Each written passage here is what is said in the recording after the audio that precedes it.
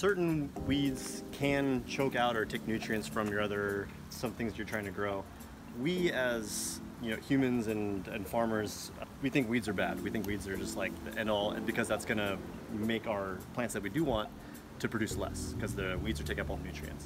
We got to realize that in nature doesn't know what weeds are. There's there's a purpose for every every weed. And just because it might take a little bit of nutrients from what you're trying to grow, it's not going to necessarily kill whatever you're growing.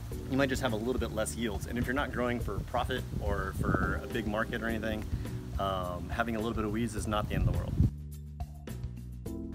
Some weeds can be worse than others, obviously, uh, but the weeds can tell you a lot about what's actually going on in your soil and the soil needs in order to produce a lot of biology and a lot of uh, good, healthy soil.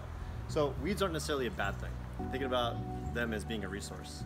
So they can tell you what's going on in the soil, meaning some things, weeds will pop up at certain purposes. For example, grasses pop up often first in order to stabilize a newly manicured or a newly damaged bit of a plot of land. So it's trying to, the roots trying to stabilize the, the ground. So it's not, it has, it has a purpose.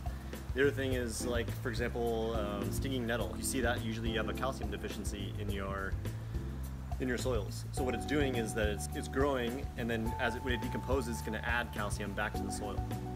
The other way the weeds aren't necessarily terrible is that it's creating biology in the soil, as I mentioned, and what that's doing is creating life in the soil, and the only way for other plants to grow is with life in the soil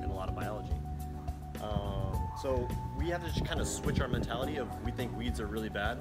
A lot of weeds are, first of all, edible and can be used as uh, for medicinally and for teas and things. That being said, there are some that can choke out your plants, and like like crabgrass, for example, you have to identify the weeds in order to realize what's happening.